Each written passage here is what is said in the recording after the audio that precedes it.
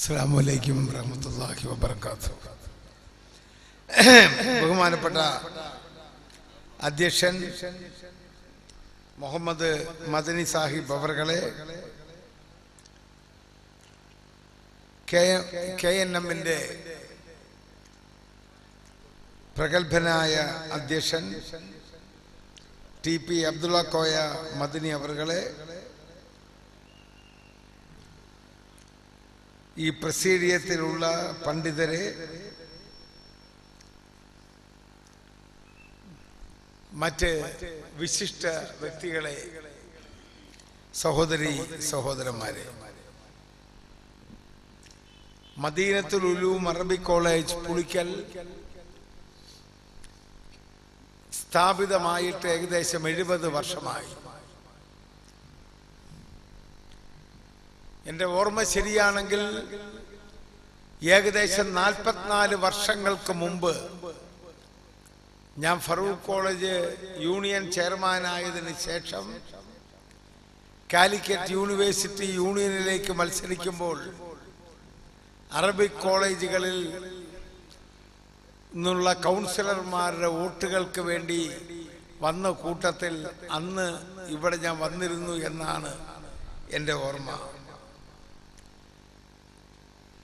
ഇവിടെ ബഹുമാനായ അബ്ദുള്ള കോയ മദനി സാഹിബ് ഇതിന്റെ ആരംഭത്തെക്കുറിച്ചും ഒരു ഓൾഡ് സ്റ്റുഡന്റ് എന്ന പേരിലുള്ള അദ്ദേഹത്തിന്റെ അനുഭവ സ്മരണകൾ അയവിറക്കിക്കൊണ്ടും ഇവിടെ സംസാരിക്കുകയുണ്ടായി. ഇങ്ങനെ ഒരു കുന്നുംപുറത്ത് റോഡുകൾ വെട്ടുവാനും ഇസ്ലാമിനും സമൂഹത്തിനും ലോകത്തിനും വെളിച്ചം വീശുന്ന മഹത്തായ ഒരു സ്ഥാപനം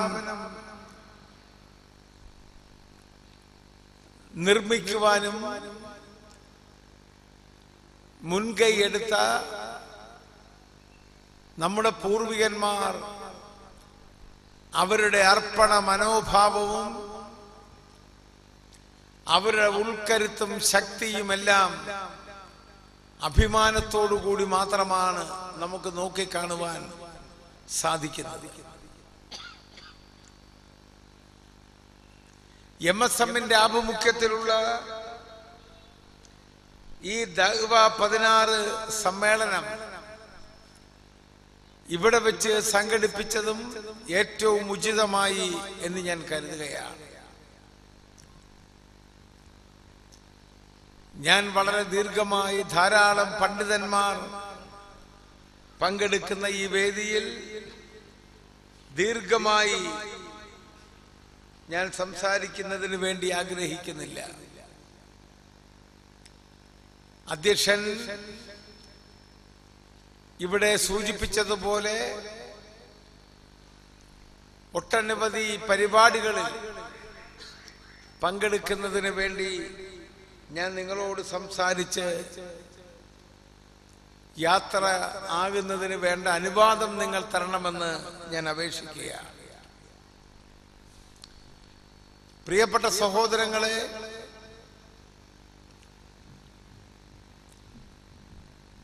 ഇന്ത്യയിലെ മുസ്ലിം സമുദായം വളരെയധികം വെല്ലുവിളികൾ നേരിട്ടുകൊണ്ടിരിക്കുന്ന ഒരു കാലഘട്ടത്തിലൂടെ നമ്മൾ പോവുകയാണ്. എല്ലാ രംഗങ്ങളിലും ന്യൂനപക്ഷ വിരുദ്ധ ശക്തികൾ അവരുടെ ശക്തിയെ സ്ഥാപിച്ചുകൊണ്ട്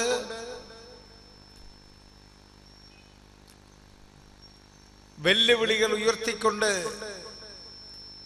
ഭാരതത്തിന്റെ പാരമ്പര്യത്തിന് വിരുദ്ധമായി ഇവിടെ നിലനിൽക്കുകയാണ്. ചില മാധ്യമങ്ങൾ ഈ ലോകത്തെവിടെ എന്തുണ്ടെങ്കിലും അതിന്റെ എല്ലാം കുറ്റക്കാർ മുസ്ലിം സമുദായമാണ് എന്ന് സ്ഥാപിക്കുന്നതിന് വേണ്ടിയുള്ള മത്സരത്തിൽ പോലും ഏർപ്പെട്ടു. നമ്മളെല്ലാവരും തീവ്രവാദ ഭീകരവാദ പ്രസ്ഥാനങ്ങൾ. അതിനെ ഒന്നും അംഗീകരിക്കില്ല എന്ന് മാത്രമല്ല ഇന്ത്യയിലെ ലോകത്തിലെ മുസ്ലിം പ്രസ്ഥാനങ്ങൾ മുഴുവൻ ഐ എസ് ഐ എസ് പോലെയുള്ള ഭീകര പ്രസ്ഥാനങ്ങളെ നിരപരാധികളെ കൊന്നൊടുക്കുന്ന പ്രസ്ഥാനങ്ങളെ നമ്മൾ തള്ളിക്കളഞ്ഞിട്ടുണ്ട്. പക്ഷെ ചിലർക്ക് ഒരു അലർജിയാണ്. മുസ്ലിം നാമം കേൾക്കുന്നത് പോലും അലർജിയായി മാറ്റുന്നതിന് വേണ്ടിയുള്ള ശ്രമങ്ങളാണ് ഈ രാജ്യത്ത് നടക്കുന്നത്. വലിയ വലിയ സിനിമാ നടന്മാർക്ക് പോലും തങ്ങളുടെ സിനിമകളെ അത് ബാധിക്കുമെങ്കിൽ പോലും അവർക്കും ചില അഭിപ്രായങ്ങൾ തുറന്നു പറഞ്ഞതിന്റെ പേരിൽ നിങ്ങൾ പാകിസ്ഥാനിലേക്ക് പോയിക്കൊള്ളൂ എന്ന് ആക്രോശിക്കുന്ന ഫാസിസ്റ്റ് ശക്തികൾക്ക് ഭരണകൂടത്തിൽ സ്വാധീനമുള്ള ഒരു കാലഘട്ടത്തിൽ നമ്മൾ നിൽക്കുകയാണ്. ഞാൻ കഴിഞ്ഞ ദിവസം ഫേസ്ബുക്കിൽ ദാദ്രിയിൽ കൊല്ലപ്പെട്ട ആ പിതാവിന്റെയും അദ്ദേഹത്തിന്റെ മകനും ആക്രമിക്കപ്പെട്ട വീഡിയോ ദൃശ്യങ്ങൾ കാണുവാനുള്ള അവസരം എനിക്കുണ്ടായി. മനുഷ്യർ ഇത്രയും ക്രൂരമാണ്. എന്നത് നമുക്ക് ചിന്തിക്കുവാനോ സങ്കല്പിക്കുവാനോ സാധിക്കില്ല. വലിയ വടി കൊണ്ടടിച്ച് അവസാനം വലിയ ഇഷ്ടികകൾ പൊക്കിയെടുത്ത് ശരീരത്തിലേക്കിട്ട് വലിയ ഹാമറുകൾ കൊണ്ടടിച്ച് പിതാവിനെ കൊലപ്പെടുത്തുകയാണ്.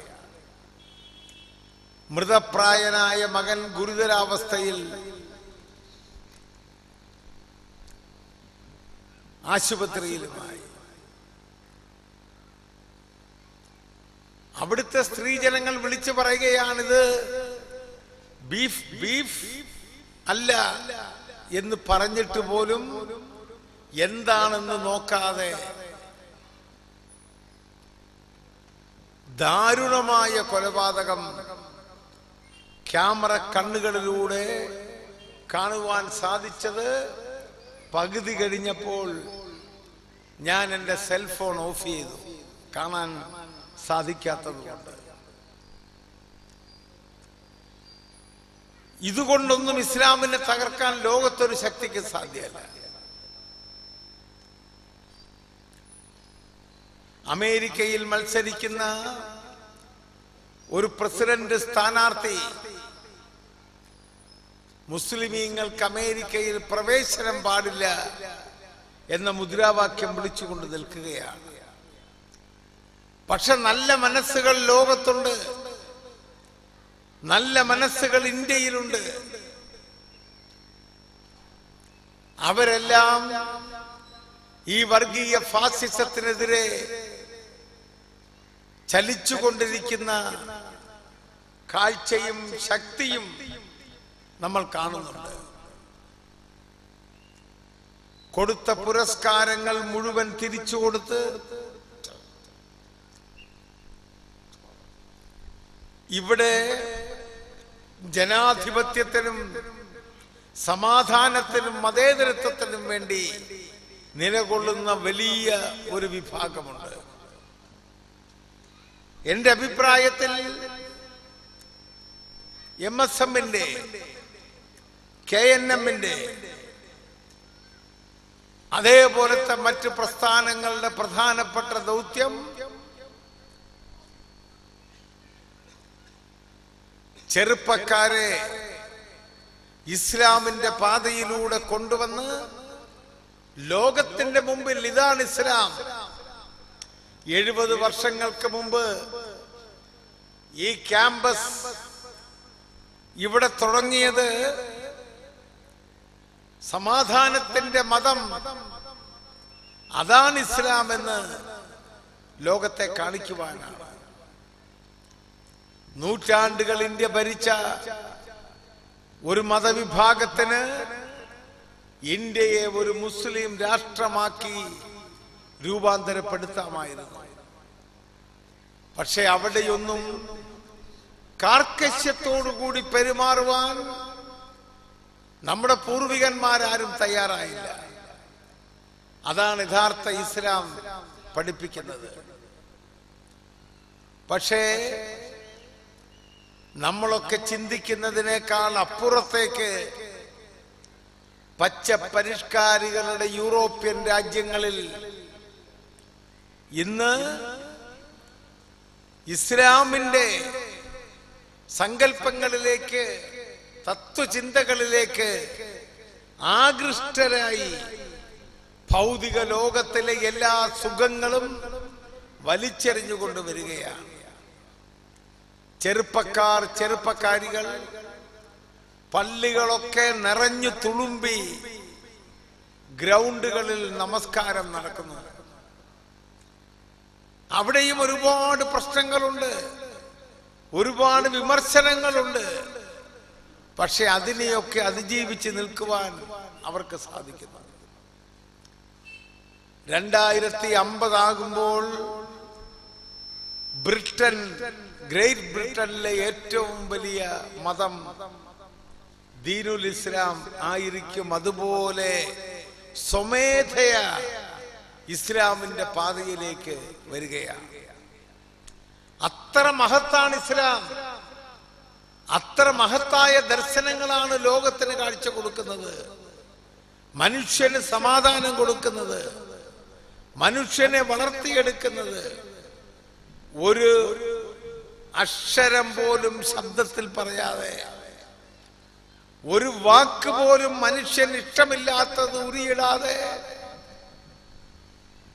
ഇന്ന് ലോകത്ത് മുഴുവൻ ഇസ്ലാം പ്രചരിക്കുന്നുണ്ട് എങ്കിൽ നൂറ്റി അറുപത്തിയെട്ട് കോടി ജനങ്ങളായി ഇസ്ലാം മാറിയെങ്കിൽ അതിന്റെ ശക്തി ഇതേപോലെയുള്ള സ്ഥാപനങ്ങളിൽ നിന്നും വരുന്ന പ്രബോധനങ്ങളാണ് പ്രചാരണങ്ങളാണ്.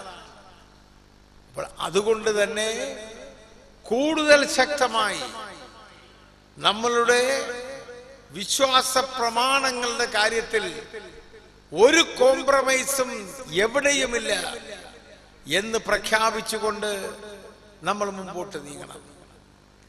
അങ്ങനെ നീങ്ങിയാൽ ഈ ഭീഷണികളെ മുഴുവൻ അതിജീവിച്ചു കൊണ്ടുപോകുവാൻ സാധിക്കും.